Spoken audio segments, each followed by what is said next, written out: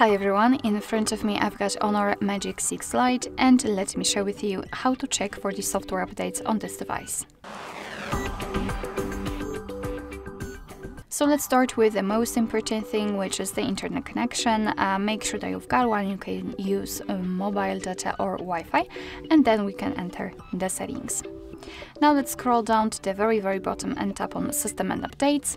And as you can see at the very top we've got the software update option, so let's simply tap. Your device will right now check for the updates. Of course, you can tap on this option again if you're not sure. Um, and basically, you can meet two different scenarios. This is the first one when your software is up to date, there's nothing to download.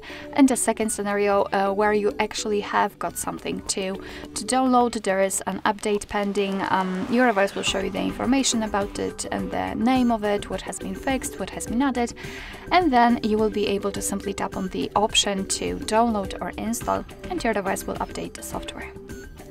Alright, so that will be all. Thank you so much for watching. I hope that this video was helpful and if it was, please hit the subscribe button and leave the thumbs up.